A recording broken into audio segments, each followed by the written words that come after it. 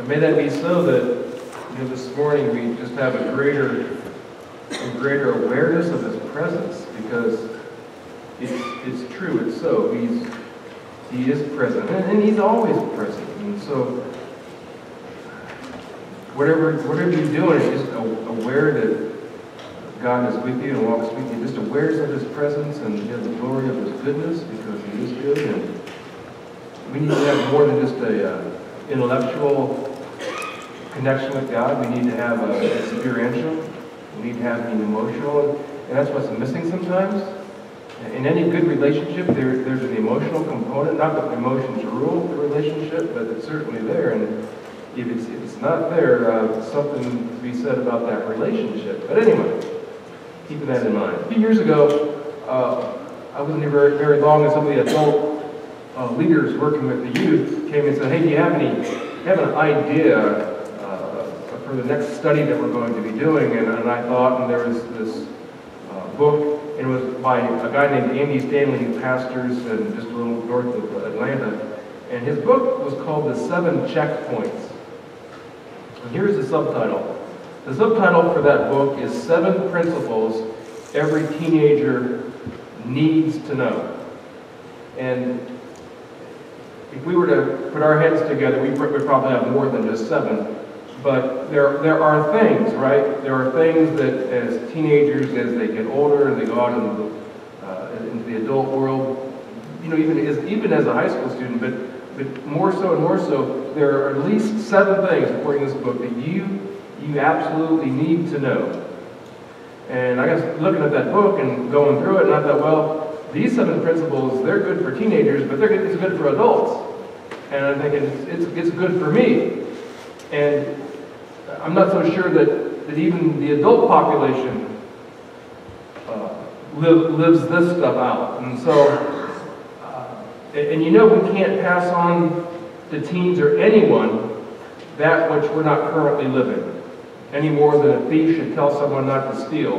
You know, it just falls on deaf ears, and who do you think you are telling me to do what you're not even doing? And there's an integrity issue with all that. And so one thought is when it comes to show and tell, it's more important to show than it is to tell. And we need to be living what we're saying, and we can never do it fully, uh, but moving in that direction. So let's live what we're what we're telling others. Let's instead of telling our kids what to do, it's okay, but are are you living it as well? Is that where you're at? And if not, you know, get there. So these seven checkpoints is what I actually call the seven essentials. Uh, so we begin in this new series on, on the seven essentials that I go in order to live well. Not, not to be a good Christian versus a bad Christian or obedient Christian versus a disobedient Christian. It's not so much that, but what it, what it requires to live well.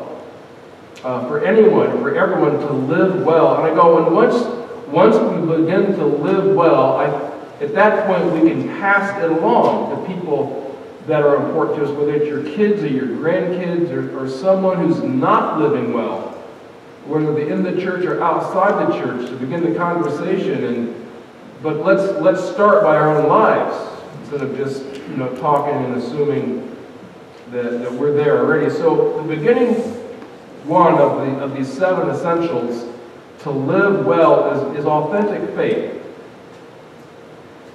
Uh, the Bible talks about faith over and over and over and over. You know, you were saved by faith. If you're in Christ, if you were born again, that was a faith experience. That was a faith issue where you put your trust in, in Jesus Christ. You saw your sin issue. You understood the cross and you asked Him for forgiveness and, and you did a great work there. But faith is not a one and done issue, it's a once and always issue. It's an all the time thing. And so the question to ask ourselves how am I living by faith now?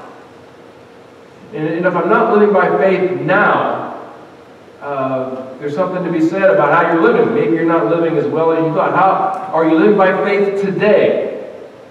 We're glad you put your faith in, in Christ. We're glad you born. We're glad for that. But if you were saved by faith, are also to live by faith. So it should be a current issue. And so what happened at salvation should be, should be going on, and you didn't know what, what what salvation was going to do totally. You didn't know where it was going to take you. You didn't know how it was going to change your life, but you know it did. And so this faith should be happening constantly. So first, the number one thing, to talk about faith is the thing about defining faith. What is this? And the reason I think this is so important because we may get part of it right, but I've seen, and you've probably seen it as well, where people get off on what they thought was faith or biblical faith, and it really wasn't. And it, it can serve to, to shipwreck faith, it can serve to uh, no longer follow God. I, I thought, I thought, and, and I put my faith, and I believed, and something didn't happen, and therefore, boom. You know, I think we all know of people who used to come to church. Maybe not this church, but they used to go to church. And they used to talk about Jesus, and they used, they used to do these things, they used to serve, they used to, they used to. And then the question is, what happened?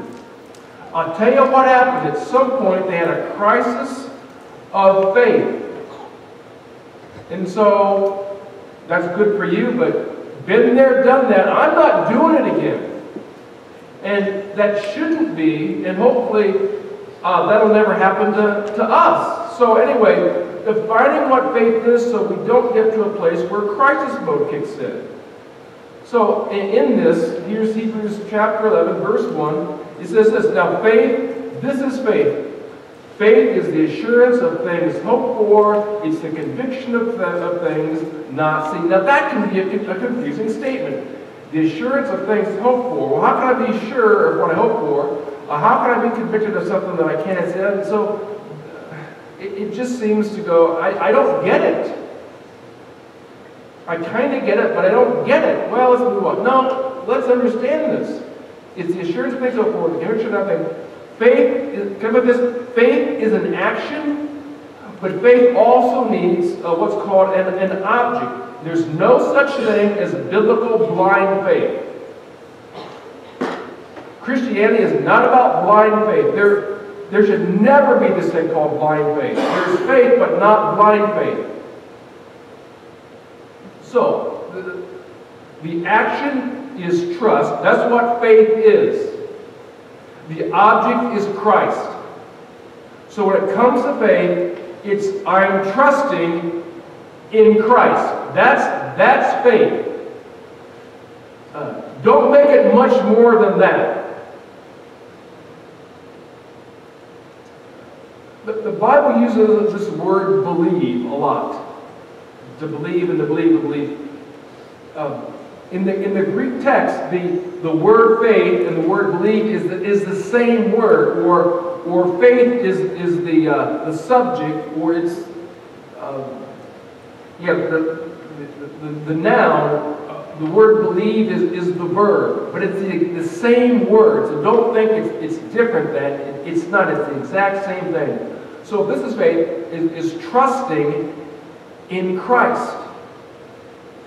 So trusting in Christ gives you a future certainty of things which we, we can't uh, only hope for, things we can, cannot presently see physically, but we can see it spiritually. I go, faith, we, we're blinded by our physical eyes, but it's 2020, it's clear in, in our spiritual eyes. Now, it's easy to get confused about faith and make it what it isn't, and that's where we get off. So I want to say, faith, faith is not. This is what it is. This is where we get in trouble, and this is where your faith can be shipwrecked. Faith is not a power that moves God in the direction we desire. That is, we want it bad enough if we can just convince ourselves that it's true, that it will happen, it will. It's not that. Faith is not a code that unlocks the door to God's unlimited resources. God has a lot of what we want. God loves to give. He's all powerful. He can do it. God loves to give. All it takes is faith for the transaction to take place. So let me figure out what the code is, how I can gain access. And as long as I, I put in the code, you know, that is the key, the combination, and now we can have what we really, really want. And it's easy to convince ourselves that it's going to happen. If you want it bad enough, often you can convince yourself it's going to happen.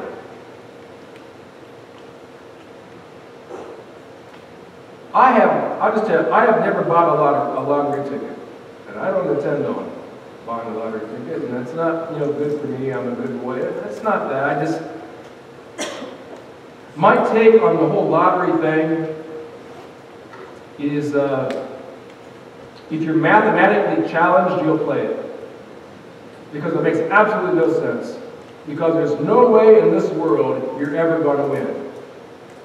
You have a greater chance you guys that are bald of breaking up with a full head of hair tomorrow morning than you have of winning the lottery. You, you just do. Yeah. And so go ahead and lay out your money see what happens. It's not going to happen. Uh, yeah. So, I mean, just mathematically, you, you're not thinking very well if, if you're laying out and just kind of open it. I, I get, oh, it's kind of fun. Is it fun to lose money, really? But, but for some people, that, that's, that's where we go. But it's amazing when it gets to be like this astronomical number out there, I don't know, 100 million. When, when, the, when the news cameras go and they talk to people going in to buy these things, these people, they're convinced. You ever see that? Oh, I know I'm going to win. I know it. I just feel it. It's going to happen. Like, I've got the money spent already. And you go, what's going on? They have this incredible faith, trust, that they're going to be the next Powerball, super mega million, zillion stuff. And then here we go. They're, they're living it now. And I would go, that's amazing. Because they don't, they don't, they don't win. Well, somebody's got to. I get it. I've known a few people. I've known a few people in my day that, that's won uh, uh, quite a lot. I go, okay, but basically it's there's no mathematical chance that, that you're going to win. Uh, but they're convinced they are. Faith is not a way to get what we want from God. That you just have to believe. You just have to know that you know. No doubting allowed, but that will cancel the transaction. Uh, Doubt is not faith. Doubt does not move God. So psychologically, get to the point where you doubt, don't doubt anymore, and that's the key. I know I'm not going to doubt anymore. We just know this, and you, kind of go in, into a, a, different place in your mind. And, and while you're at it, get a few or a lot of other people to agree with you and to pray with you. Like God may not hear your prayer alone, but if you get two or three more, or call the prayer hotline, or put an ad in the paper, or whatever you do, the more people we can get to pray, here's the thought, the more people we get to pray, the more God is like, his arm is behind his back, and he has to, he doesn't have a choice anymore. Look at all the praying people. Now, if there were only 50, I might not. But now that you got 500, I, I guess I don't have a choice now. Really, is that how it works? And by the way, we don't really know what the number is, so God's not telling. I go, would a loving God really put us in that sort of turmoil? Just get more and more and more and more and more and more. If you get enough, and by the way, you don't know what the number is. And God said, well, all right, it's going to happen now. Where people misusing, oh, we're two or two or more are gathered, there I am in their midst.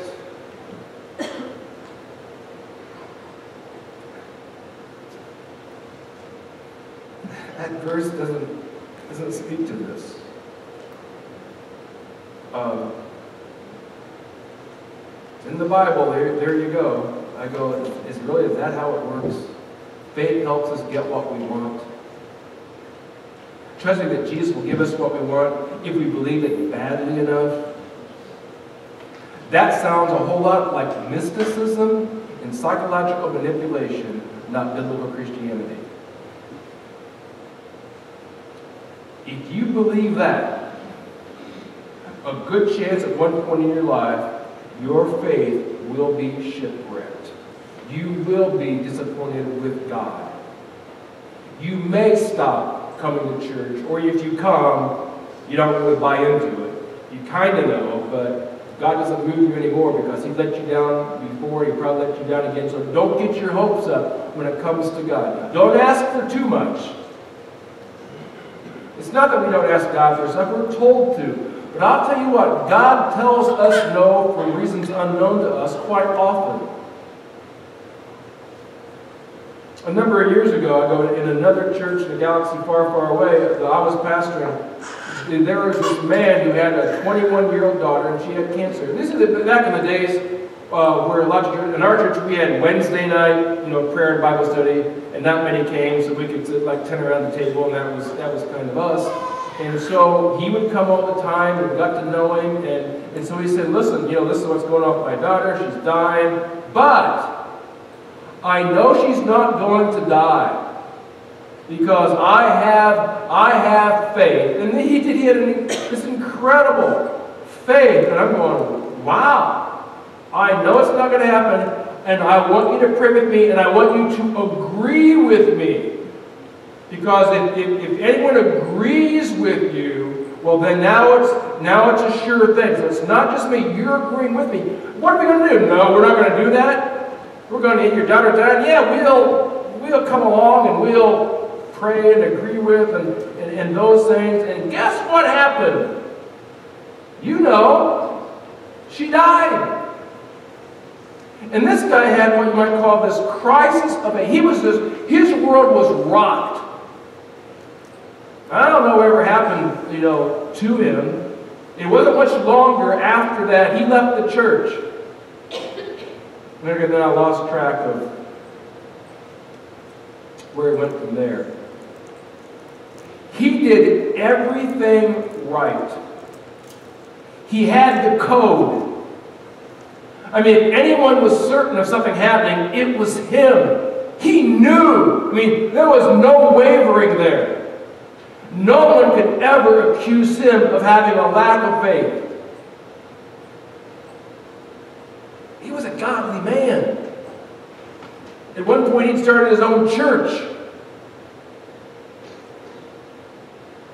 His 21 year old daughter And he, he's just, uh, he, he's just sort of stumbling and staggering around after that. That was, that was like my take on his life. God seemed to let him down. I go, how could this be? I want to suggest that is not what faith is. It's not the assurance that God is going to do something just because you want it bad enough.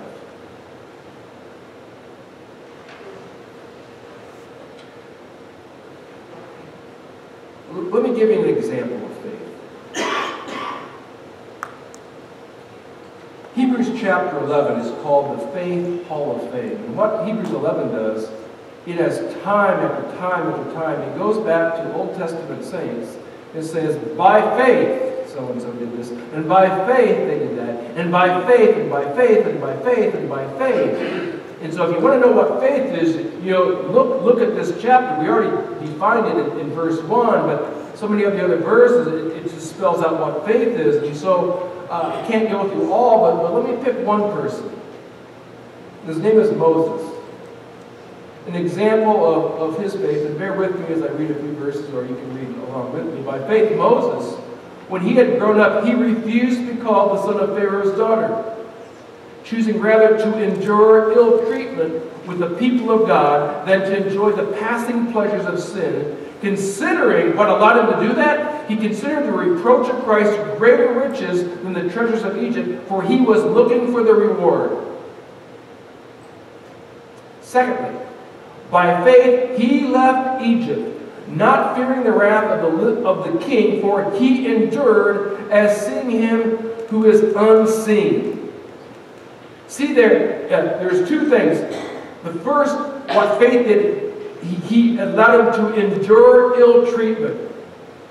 And the second part, it allowed him to endure the wrath of the king. He didn't fear it. So Moses' faith allowed him to suffer well and to not be afraid. That's what his faith did. His faith did not change the circumstances of his life. It didn't cause him now uh, to be in the good graces of, of Pharaoh.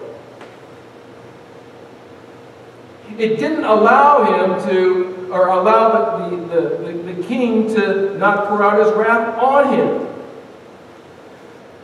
To suffer well, he endured. What allowed him to endure? It says he looked to the reward. His faith was in the reward. The certainty was in the reward. I know, I know God will reward me for not caving in, although it comes with consequences I would rather not experience. Who wants to suffer? I don't, you don't. You have to be crazy to want that. Who wants life to be harder? I don't, you don't. We're trying to make life easier. But, fair, but it, you know what? Even if life gets and remains harder, I'm going to stay the course because I know God has a reward for me. And it's not talking about that God will reward you in this world. That wasn't the point. It's not that God didn't do great things through Moses, but, but he knew that someday I'm going to get this reward. I know that. See, you can have that faith. Whatever's going on now, do you know how short life is? Anybody? You know how short life is? I used to remember we're hardly here long enough to unpack. And the next thing you know, look at us. Now, for some of you, you know, I'm I'm ancient. You're kind of wondering, you know, how much longer we'll even be able to drive. Or, thanks. For a few others, I'm not that old. But I do tell you this. I have no idea how it got to be my age. I haven't a clue. In my mind, I'm still playing Little League Baseball. In my mind. In my mind, I'm still the catcher behind the plate. That's what I did. In my mind. I'm surprised I could just still do that. Also do some push-ups, but I'm not, in my mind. And here I am. I don't, I don't get it. All Know is that at, some point, life just accelerates. Time does. Before you know it, uh, you're, you're just, you're old, and, and, you see it, you feel it, and, and, you just know, you just know that uh, I don't have as much time left than, than I've already lived. I, I, I, I know that. And, and to be, to be okay with that. And so, you know what? I, I, I, I had better have some rewards waiting for me. The tendency as you get older is to look in the rearview mirror of life more than you look out through the front of the windshield. Because life is back there. My best days are back there. I get out the photo album sometimes. I go down memory lane way too much. Not that there isn't something about that, but I ought to be looking forward more than I'm looking backwards. And for Moses, I'm looking forward because I know there's these rewards. I know that. I don't have them now, but I know that's his faith. The other part that allowed him to endure, to not be afraid, he endured by, by looking and seeing the invisible God. That's what it says. As seeing him who is unseen. Meaning I can't see him physically, but I can see him spiritually. I can see with my I see God. I see Jesus. It's not what Jesus is going to do for me, but Him and His character is enough. See, sometimes it comes down to this. Do I, do I really love Jesus, or do I really love what Jesus can do for me?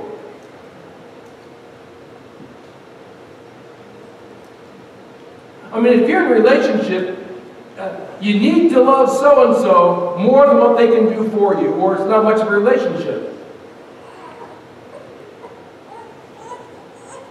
And so, what it means to, to love Jesus, to love God, to be able to see Him, even if he doesn't change my circumstances. See, Moses, Moses' faith resulted in endurance. It allowed him to suffer well. It allowed him to not be afraid when he should be afraid because he knew rewards were coming and he could see the unseen or the invisible God. It's, it's not that his, his suffering was going to cease, but that he would live well in hardship. That's what faith allows us to do. That's what it did in Moses' life. And that was all he needed. His faith did not result in external change of circumstances, but in internal strength resulting in endurance. That's what faith does. Now, does that mean it never changes external? I'm not, I'm not saying it never does, but don't, don't land there. Don't bank on that. Beware of people, well, I know that, not, based on what? Oh, I have a faith. Well, do not misplace your faith. Faith should do in us, as it did in Moses, allow you to endure, to suffer well, to not be afraid. That's what faith does. So I go faith in us. That was Moses, that was a long time ago, but should still be true. So there are a couple things here in Hebrews 11 concerning us. And that says, and without faith, it's impossible to please Him. For he who comes to God must believe, that is, have faith, because faith and belief is the same word, must have faith that he is, and that he is a rewarder of those who seek him. Do you know that? Do you believe that? Do you have faith that is true? Number one is faith pleases God. I would hope that everybody here, that's what you would do with your life.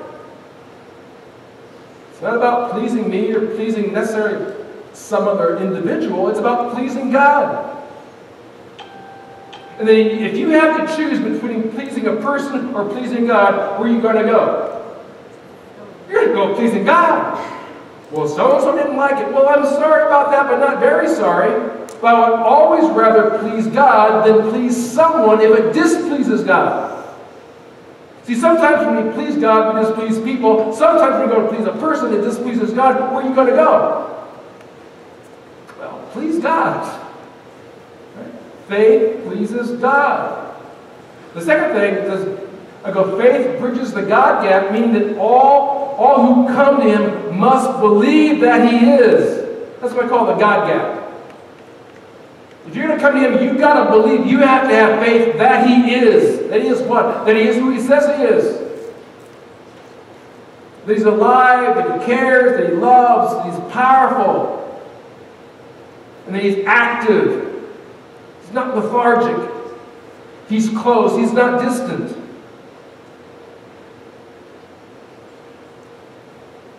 He's here.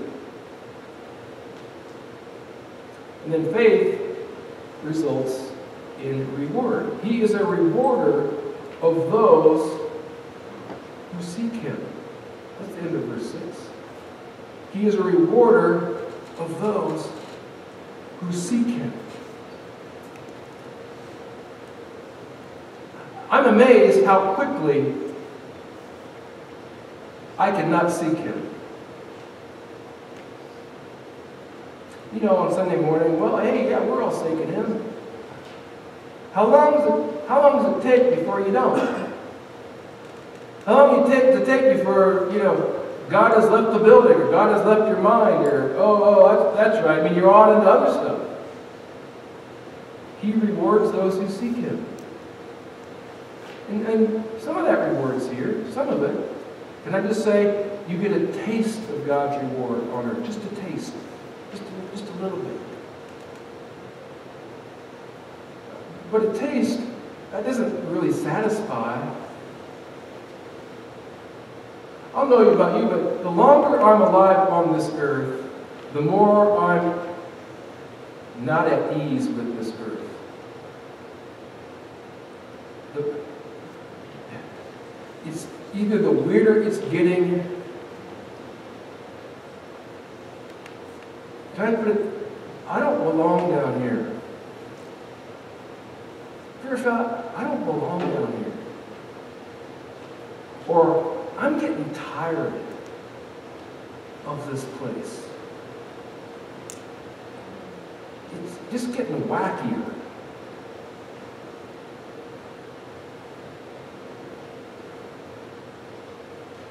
I don't understand, I, don't, I never really did, but even more, I don't understand it anymore. People can think this and do that and be okay with it, say the stuff they do, do the things they do. I'm going, what, what's going on? Uh, I mean, God rewards me some here, just a taste. But when we leave here, it's not longer just a taste. It's a buffet. It is. I, I heard, someone leaked out that there's this, uh, like this cooker, if you look out, there's this cooker sitting down here. And, and they're cooking, just gonna tell you, pork chops and ribs. Well, I plan on being around. I wasn't even, I wasn't even invited. But I have a way of showing up today, some of you know that. And I'm going, it's not a little piece of, this is a buffet banquet. That's how God rewards. Not dribs and drabs, not where you're left wanting more. You can just take it on in. He is a rewarder of those who seek him. So seek him.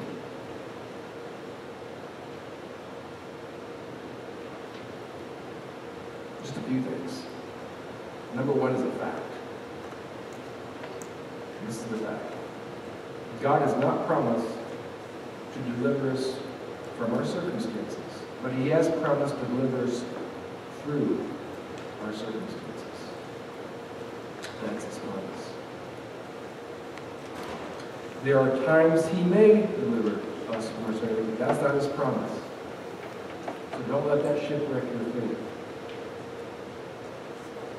But He will deliver you through. I hope my friend whose daughter died at the age of 21 has seen God deliver him through the circumstances. The last two, uh, what I call are resolutions that I hope you take on. And that because of faith, life can't get hard enough to weaken or diminish my faith. We're not, we're not asking for a harder life but it can't get hard enough. It's impossible to weaken or diminish my faith. And then the final one is this. Resolve. The harder life becomes, the stronger my faith becomes. And that is authentic and that is biblical faith. Faith resulting in endurance because we need endurance in order to live well. And may all of us live well. Would you pray with me, Lord? Thank you for this thing called faith. It's, it's not some formula, it's not a code, it's not a key. No. But it's a, it's a trusting in who you are and that there are rewards waiting for us and Lord, you are enough. And, and one day we will be on that banquet day. In the meantime, in the short meantime, may nothing diminish or stagger our faith. I pray in Christ's name.